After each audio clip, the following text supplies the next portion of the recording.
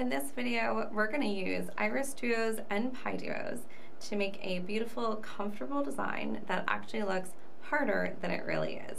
So check out the material description below, gather your materials, and we'll get started. To begin this bracelet, we're going to start with our 2 millimeter crystals, our Iris Duos, and our 15 seed beads.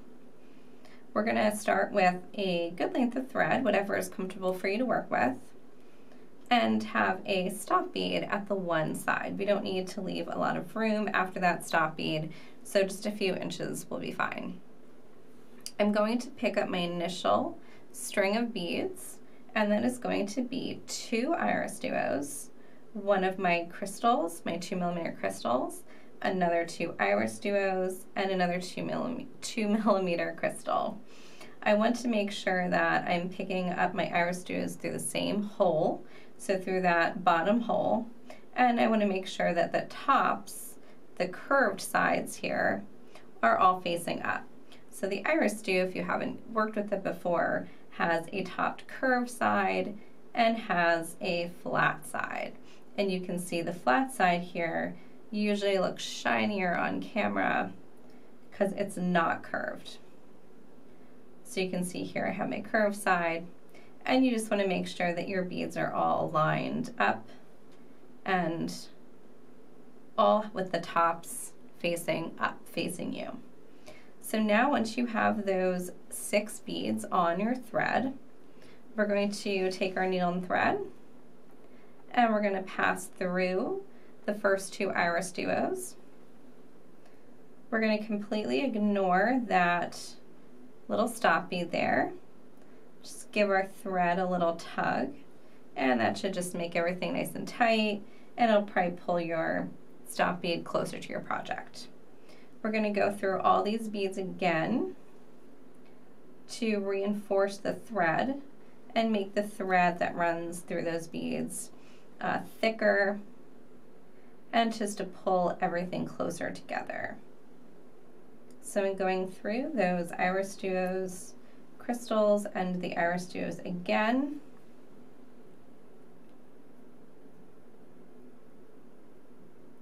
Making sure to keep that, that little stop bead there just out of the way.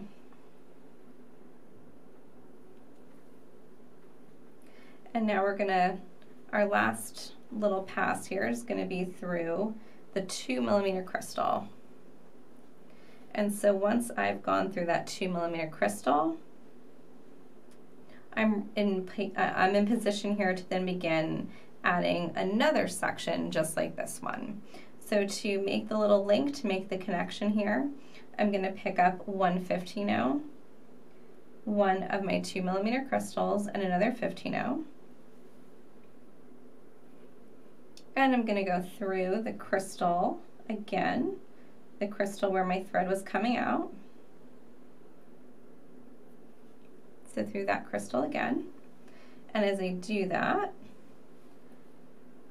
and I pull, the new crystal will be sitting directly next to the crystal that's part of my first little X section here. I want to also reinforce this. So I'm going through that 15 through the crystal, through the 15 and through the crystal again.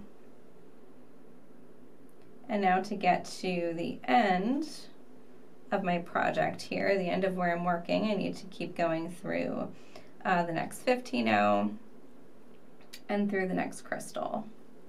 So now this crystal here, at the very end where my thread is coming out, will be become the first crystal in the next little X section.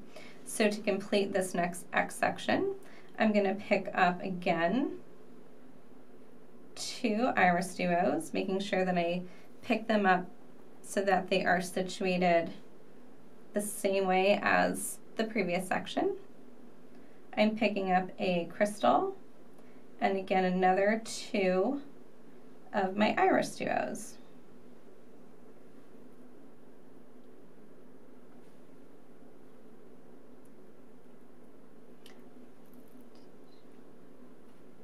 And once you have these all on, it's always good to take uh, just take a minute, just make sure you've got everything on the correct way and the tops are all facing up.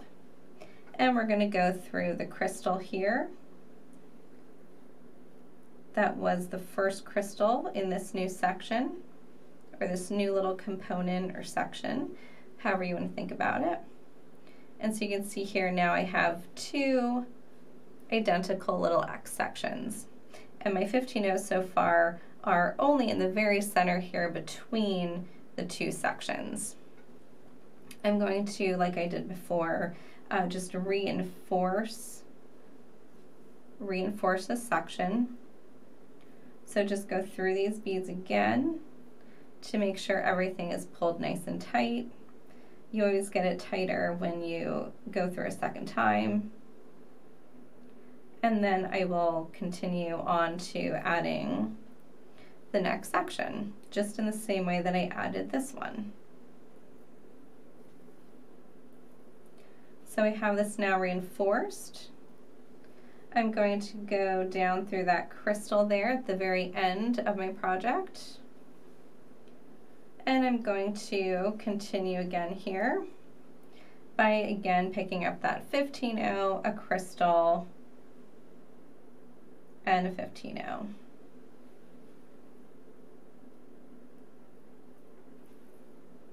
I'm going to continue like I did previously. I'll reinforce this and then I will continue by adding um, little X sections here with my iris duos until I get to the end um, to the full length of the bracelet that I want. And then I'll continue on and continue adding some more embellishment until I'm done. I've now made the length of the bracelet using the same technique over and over again, adding my X sections. So now I'm going to embellish the X sections along the edge and widen out the bracelet a little bit using my pie duos. And my pie duos are actually going to fill in that little empty space there created by the V in the iris duos. And the pie duo is going to fit perfectly in there. So I'm going to pick up the pie duos every time I use them. I'm going to pick them up through the hole in one of the flat sides. Just like a little slice of pizza, the curved side up here is like the crust, and I'm going to not pick it up through that crust, I'm going to pick it up through one of the sides where it would have been cut. So here I have my thread coming out of one of my crystals here at the end.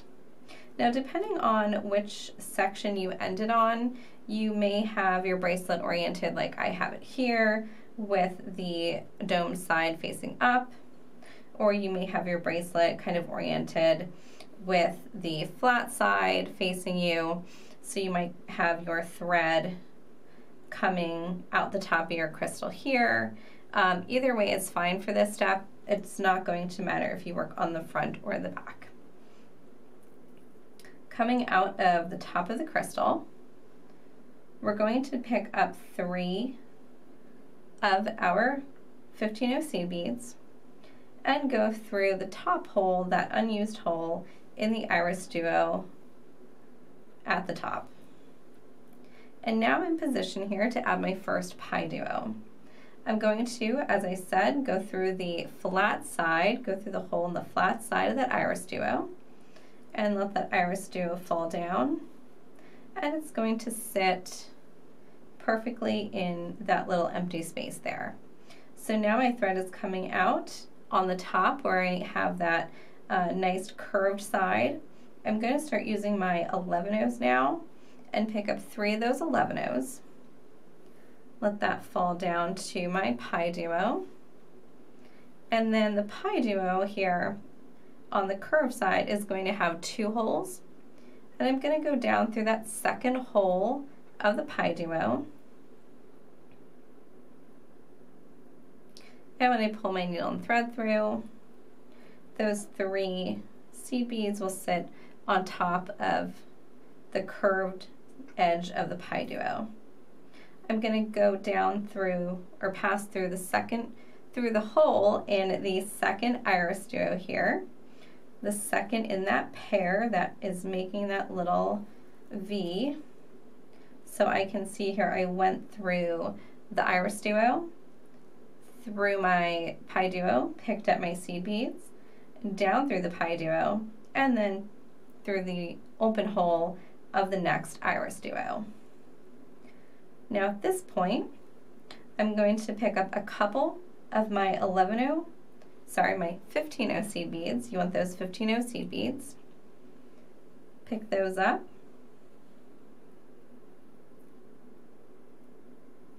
I'm going to pass through the 15 right below here, so the 15 that is um, that was creating that little bridge between the, the two crystals when I begin a new section. So I'm going to pass through the 15 on the side where I'm working.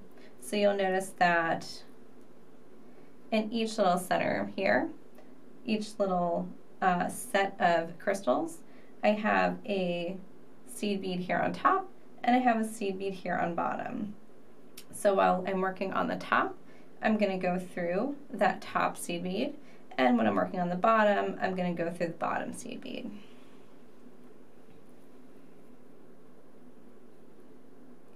Pass through that 15 seed bead.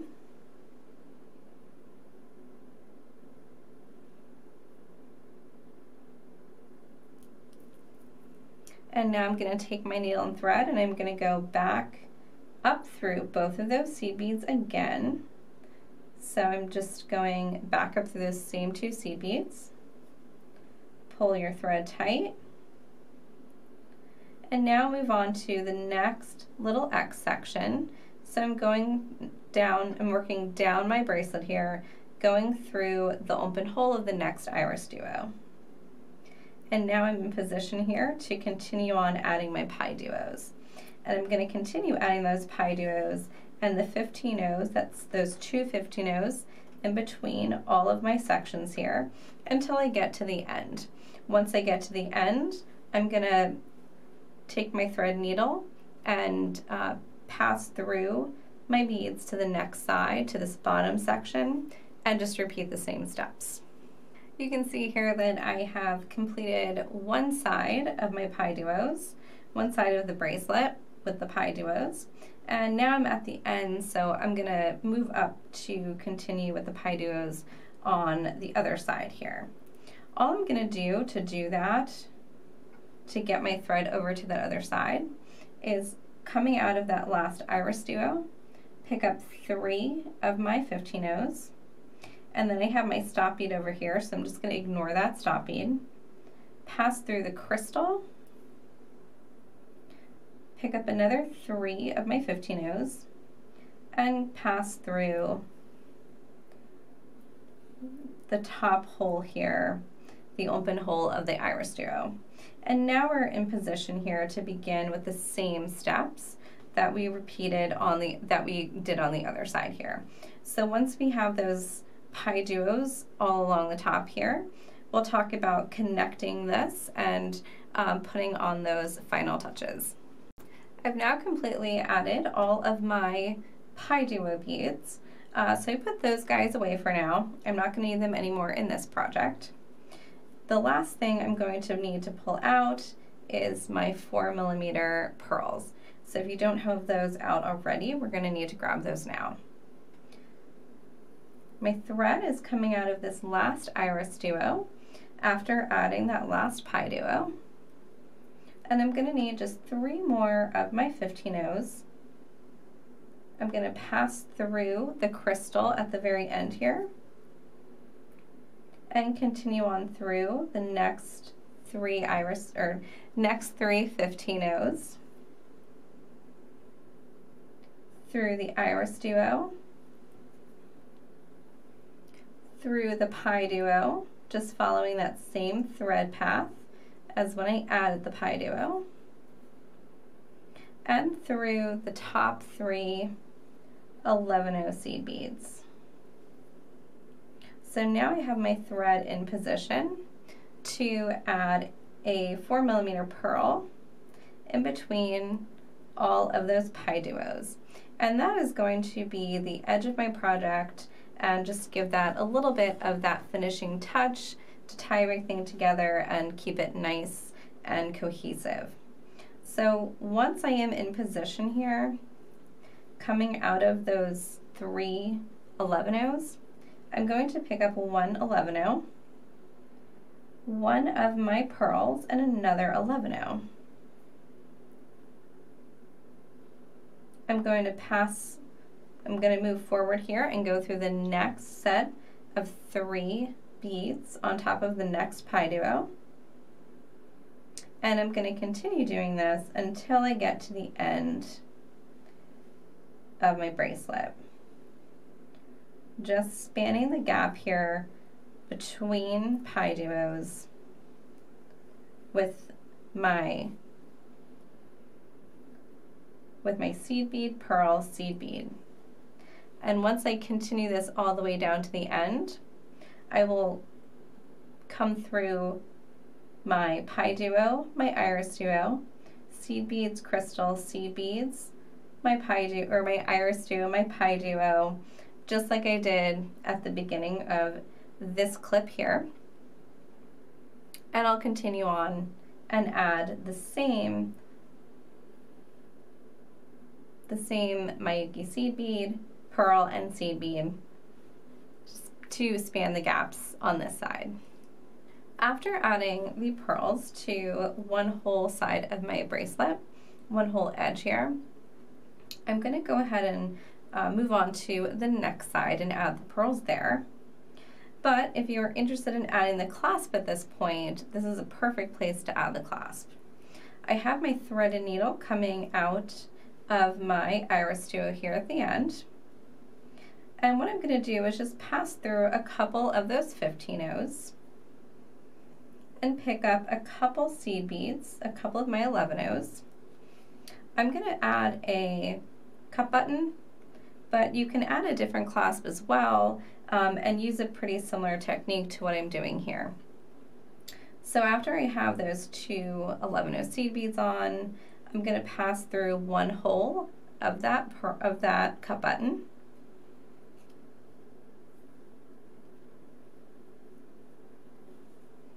And I'm going to rethread my needle. so that does occasionally happen here, just like in real life. Sometimes my thread comes off my needle. Um, so fortunately that was a real easy, real easy thread to get back on. So now that I've got my thread and my needle back together, I have my thread coming out the top here of my cup button. I'm gonna just pick up a seed bead, a pearl, and a seed bead to add a little embellishment in there inside the cup button. I'm gonna go down through the other side of the cup button and pull that thread through. I'm going to pick up another two of my 11 seed beads. And I'm going to go through, I'm going to go past the crystal here in the center. And I'm going to go through the next 15 0 starting with the 15 0 and go and kind of backtrack and then go through that crystal. So I'm going through the 15 right before the crystal and the crystal itself.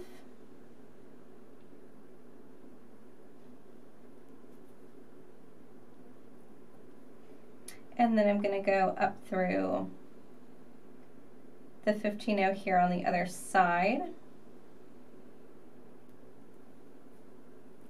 And now I'm in position where I can reinforce the beads that I use to attach my cup button. So I'm going through the 11 O's beneath the cup button and through all those beads that I have sitting inside the cup button here. It's going to be really hard to go through all of them at once, so just go through one or two at a time and pass down through the cup button again, through those two seed beads at the base. And now if you want to, you can reinforce this again in the same way. Um, I feel pretty secure with it the way that it is. So at this point, I'm going to continue up the side of my iris duo here through those two seed beads, those two 15 O's, and then to get back into position to continue on the edge of the bracelet here where I still need to add my pearls. I'm going to pass through my iris duo, up through the pie duo, and once I'm through the pie duo, my seed beads here at the top, and any little threads that you have in the way, just push those out of the way and we'll tie that all off at the end. So now I'm in position to continue here embellishing the edge and adding those adding those little pearls in. After adding the pearls to the other edge of my bracelet, I'm now ready to add the other side of my clasp. Since I used a cup button, all I'm going to need to add is a loop of seed beads to hook around the cup button. Of course, if you're using a different clasp, you'll be adding whichever clasp end you need um, to complement the other side of the clasp that you already added. I'm going to add this loop in the same way that I added the cup button. So I'm coming through the same beads and I'm coming out of those same beads here. So the two 15 O's here on this end I'm coming out between the second and the third seed bead here. And I've picked up a line of seed beads here, a string of seed beads, about an inch and a half long. Um, you can use any kind of seed beads here, any kind of pattern. I just picked up my 11 O's and my 15 O's and a little bit of a pattern to give it just a little bit more interest. Once you have a loop that you've tested around your button and you know that it will fit around your button, we're going to again attach this loop in the same way that we attached the cup button on the other side. I'm going to skip over this center, this center crystal here, and I'm going to go through the 15 right above it, and I'm going to go through the crystal itself. I got a little bend in my needle, so if you get a little bend in your needle, sometimes it doesn't go through quite as smoothly. Up through the 15 on the other side. And then this will put me in position to reinforce the seed beads in my loop. I'll do this um, once, maybe a second other time, tie this thread off, uh, locate all the other thread ends in my piece that I want to tie off, weave those in, burn them down, uh, whichever technique you prefer, and then my bracelet will be complete.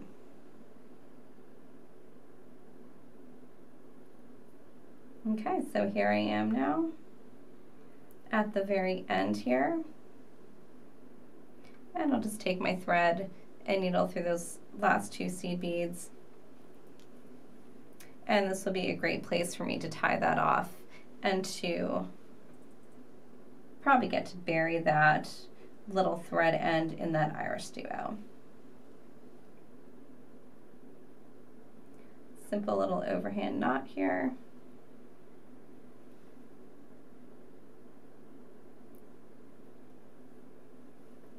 And if you're unsure of how to tie off thread, or use a thread burner, or if you're interested in other techniques to burn down and finish the edges, or how to tie off your thread. We have other videos, we have Better Beaders, um, lots of other tutorials to teach you those techniques. Um, so hope you enjoyed making this lovely bracelet. If you enjoyed this video, please comment below and let us know your thoughts. You can also subscribe to our channel to be notified as soon as we have more beading tutorials out that you will enjoy probably just as much as you enjoyed this one.